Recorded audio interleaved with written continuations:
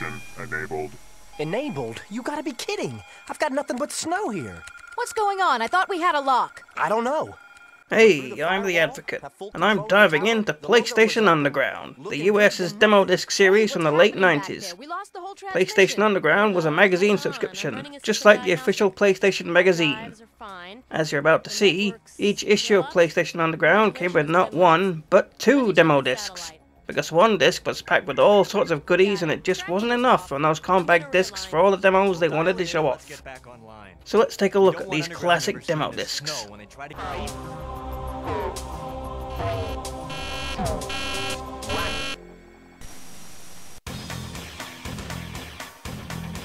This first issue was released sometime in 1997 and contains quite the variety of content.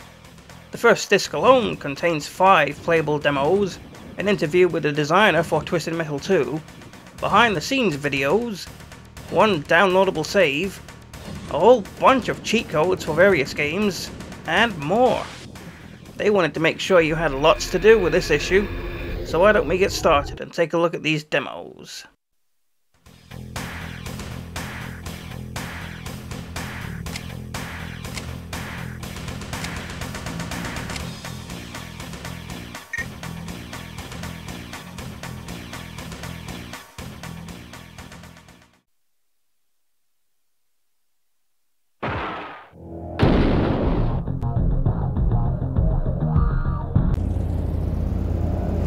First demo is for Twisted Metal 2. Continuing on with the gameplay of Twisted Metal, this game has you choose a vehicle and roam around various locales, utilizing all sorts of deadly weaponry to destroy your opponents as you compete to be the best in the world, for a chance to win the grand prize, a wish for anything you desire. This time, the contest takes place across the world, including Moscow, Paris, New York, Hong Kong, and more. Reviews at release were very positive. Critics were impressed with game's larger levels and cast of characters, although the graphics were considered lackluster. The demo let you choose a character for a quick battle in Los Angeles.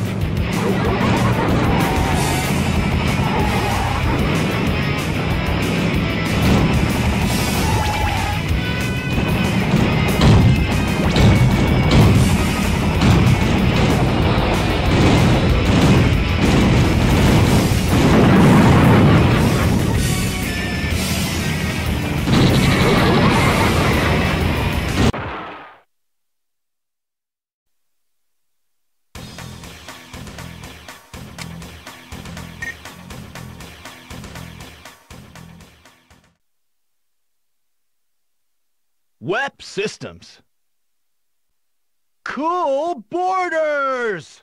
Go for it! Ready? Go! The next demo is for Cool Boarders. A simple snowboarding game for the console, the game only offered 5 courses, in which players race for the fastest time and pull off the best tricks. Reviews on release were mixed. Critics considered the game fun enough, but noted the lack of a two-player mode or even computer-controlled opponents to race against. The game could be considered a fun novelty, but perhaps the later released snowboard games will be better. The demo gives you a timed run on one course. Straight ahead! Hurry up! What? You can try the bunny slopes next time. No! Whoa, man! I thought you were history. Sweet!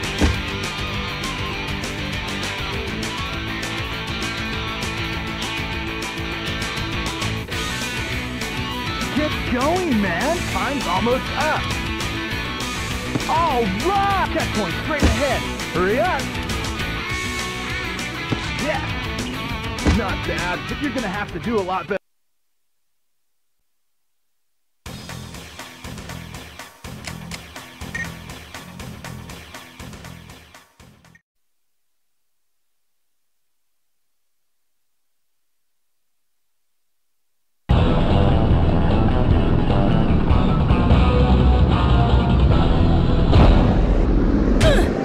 Along to the demo for Jet Moto.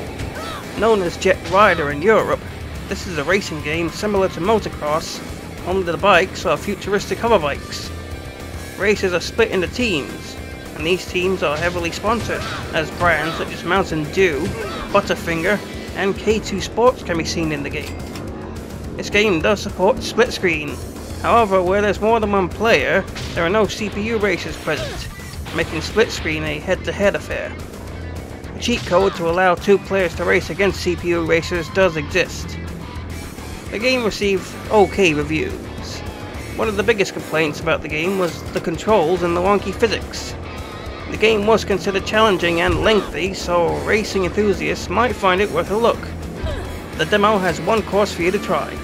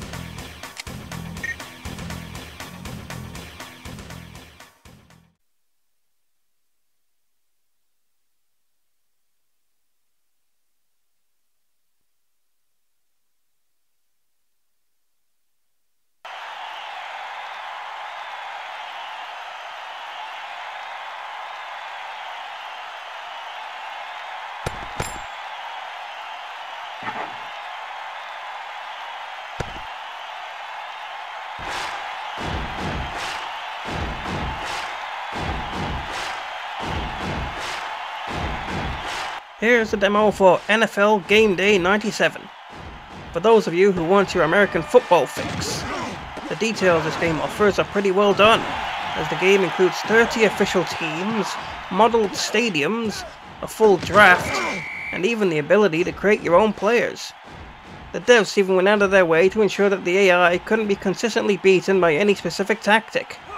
As such, the game received very positive reviews on release, with many critics finding very little about the game to complain about.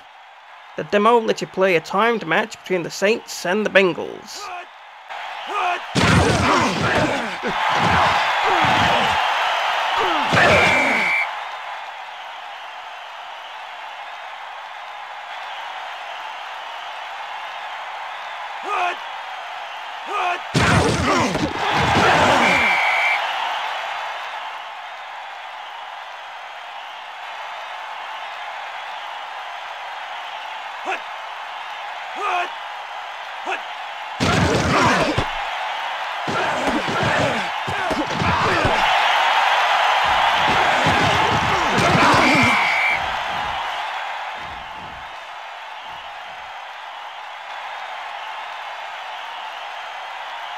Hood!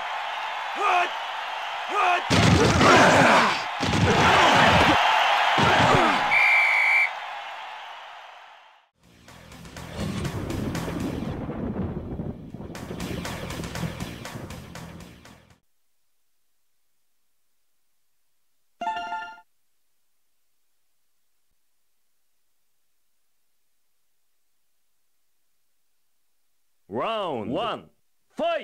This issue's import demo is for the first Dynasty Warriors game by Omega Force. Quite different from its strategy hack and slash format the series is best known for today, isn't it? The first game was a simple one on one, yet despite the PlayStation already quite saturated with such games at this point, Dynasty Warriors were viewed rather well at the time. One standout gameplay feature is the fact that the game encouraged parrying your opponent's attacks, causing them to flinch and leaving them vulnerable.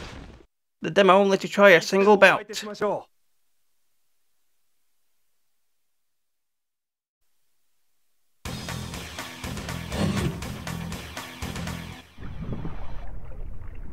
After the demos, we have the Tech Q&A, which details how you can send in questions to the magazine.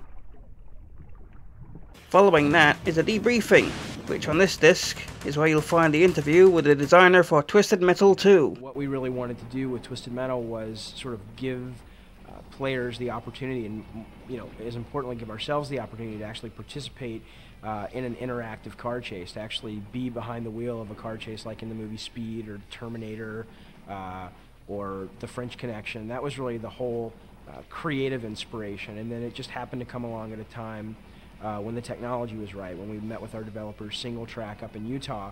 Uh, We're not done with the videos because next is the behind the scenes section, where we get a glimpse at how they made the Twisted Metal 2 trailer.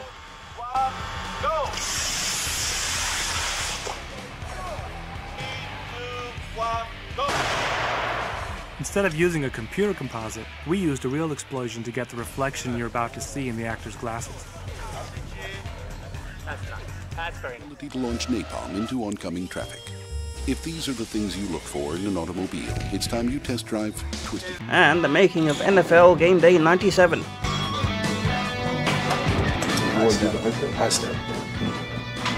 So what it does is it, for each frame, it will go through and it will figure out where each of these dots actually were. They really don't mean anything until you start moving them. And once you start moving them, you can see basically where the hips and the knees and the ankles and all the joints are. This disc also comes with one downloadable save for the game Carnage Heart. This save gives you a squad of powerful OKEs, making your gameplay that much easier.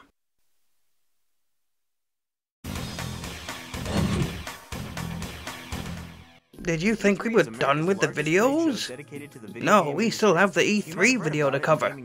A time lapse and quick look at that year's E E3.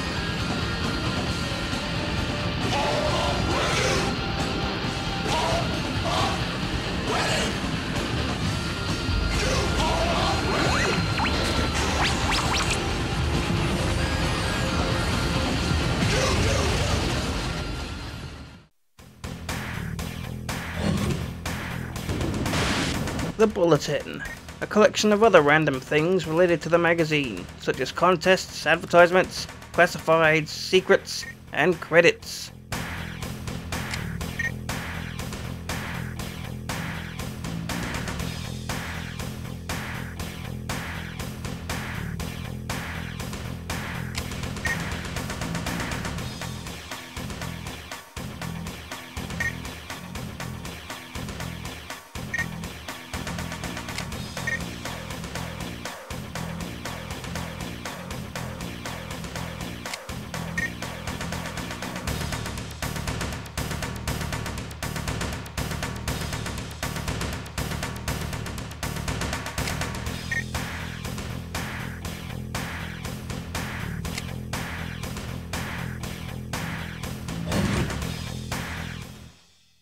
Speaking of contests, this first issue had a big one for its subscribers, the details of which were mentioned in the disc sleeve.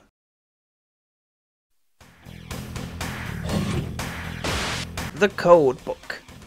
Cheat codes and other hints for many games out at the time, right there on the demo disc for players to peruse. Quite the handy resource indeed, wouldn't you say?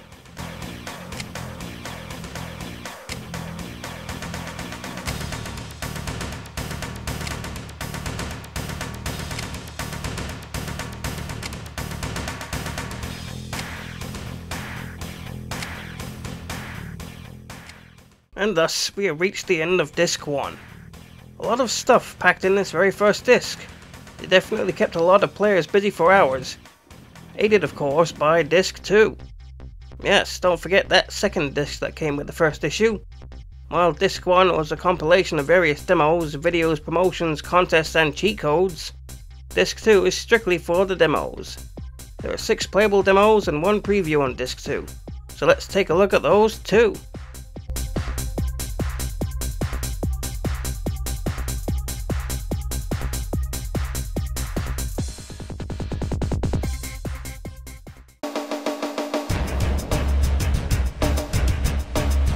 First demo on disc 2 is for Carnage Heart. This is one game that can get very complex very fast. So much so that the full game actually came out with not just a beefy manual, but also a strategy guide and a second disc purely designed for teaching players how to play the game. If you're still interested in the game, I'll try and give you as basic a rundown as I can. The game is about designing and programming combat robots the game calls OKEs. These OKEs are then assigned to a unit, and those units are assigned tasks to do, which can include things like defending or capturing bases, marking patrol routes, or fighting enemy units. Each OKE's combat style is determined by the software and programming the player has assigned to them. So if you're a fan of deeper games that let you plan, program and micromanage things, you might enjoy this one. Critics at the time of release certainly did, as many of them enjoy the deep strategic gameplay although others did warn players of the game's overwhelming complexity and lack of direct control. This demo gives you one mission to play around with,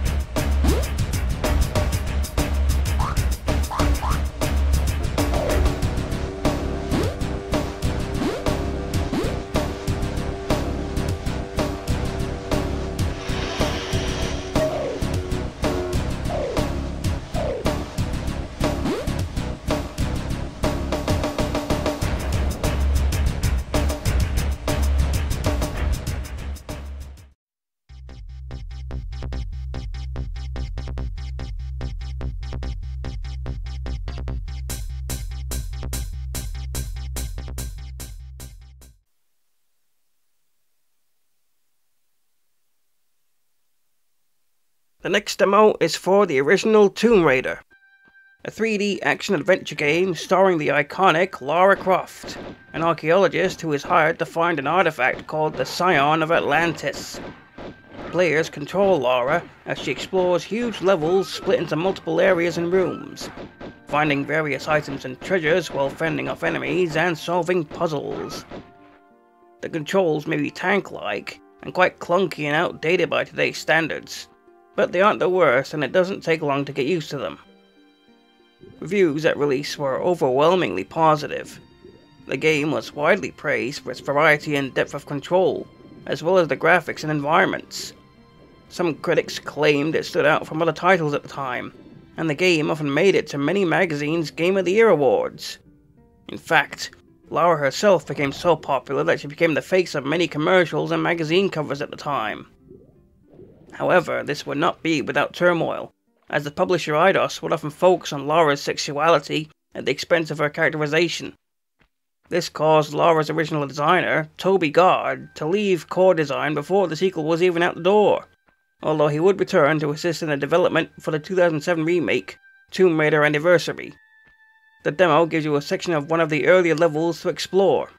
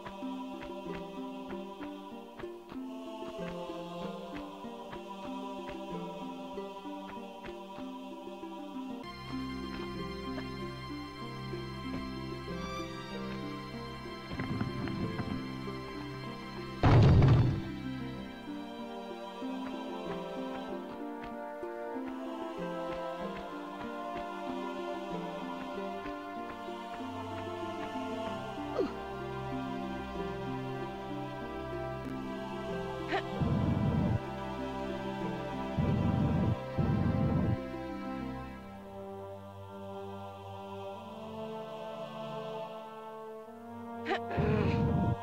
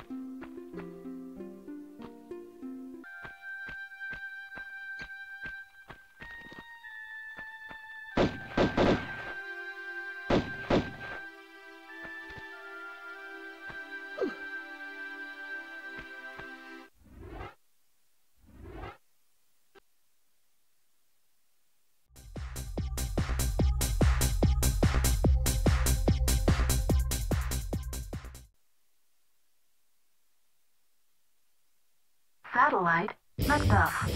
Proceed with first mission objective. After that, we have the demo for MechWarrior 2.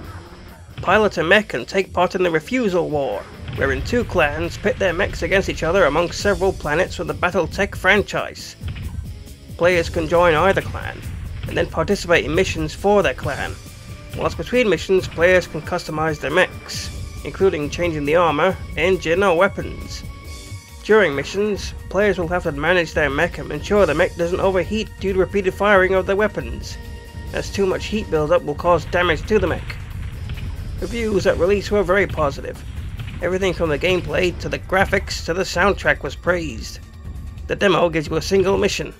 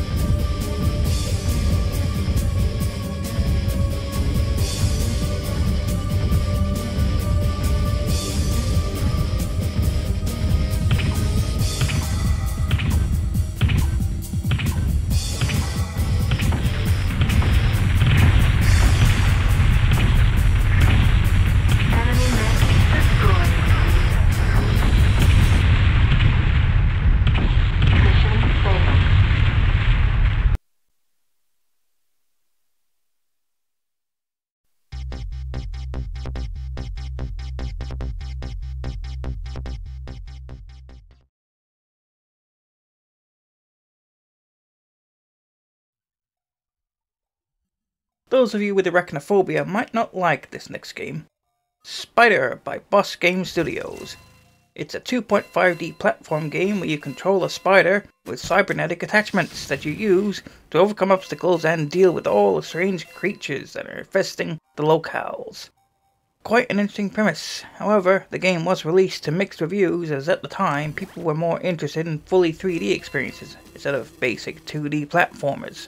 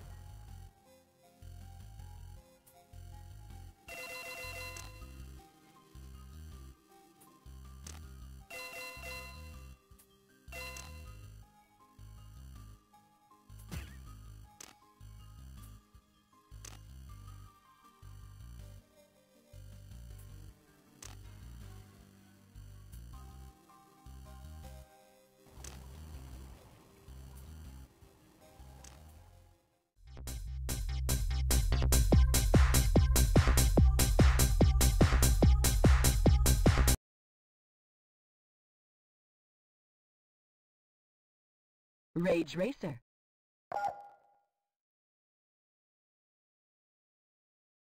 Racers, start your engines and let's get it on.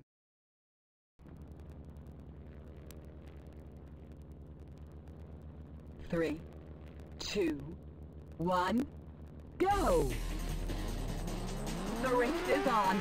Show 'em what you've got. Another Ridge Racer sequel from Namco. This is Rage Racer. A little bit more drab and gritty and a little bit more in depth than the previous Ridge Racer games. However, that apparently wasn't enough for reviewers at the time, as many considered it as just more Ridge Racer gameplay. Nevertheless, the game still received favourable reviews. Rage Racer allows players to earn credits, which they can then use to purchase new cars and upgrade them. And there are also some secret cars to unlock.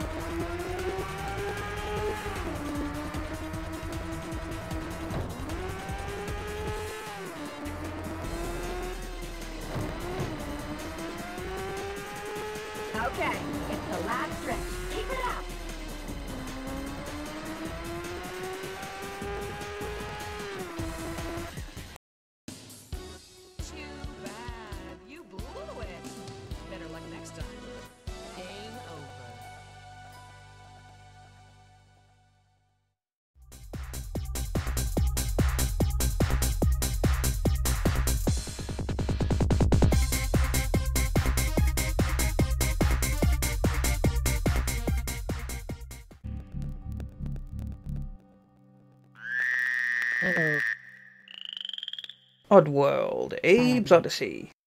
We all know about this one, but just in case, here's a quick summary.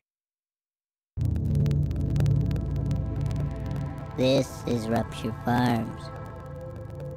They say it's the biggest meat processing plant on Oddworld. That's me. My name is Abe. I used to work here. Well, I was really a slave, like all the others. Then I learned they were gonna turn us into lunch. That's when I knew I had to escape. So, get me out of here and help me rescue the others.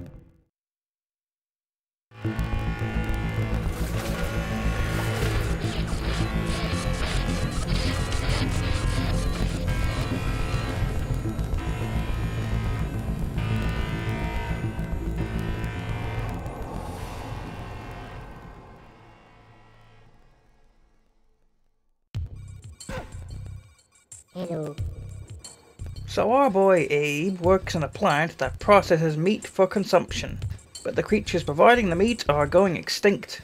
So the higher ups decide, screw it, let's just turn our employees into the meat instead. Which seems counterproductive, but video games. So Abe, one of said employees, learns of this plan and gets the hell out of Dodge, with the intent to rescue as many of his fellow Mudokons as he can. This game is a platformer puzzle game, where you have to move through the levels while not only avoiding dangerous traps and enemies, but also rescuing other Mudokons. You can do this by using what the game calls mm-hmm. Game Speak, a mm-hmm. combination of buttons that lets you talk with Mudokons, telling them to follow you so you can lead them to a bird portal, which Abe opens by chanting in it. Video games. Mm-hmm. Chanting can also allow Abe to possess some of the enemies and control them, which is used to solve puzzles and give yourself a laugh by making them run into electric fences. this demo gives you the first Rupture Farms level to escape from. Oh yeah, and did I mention this game has a fart button?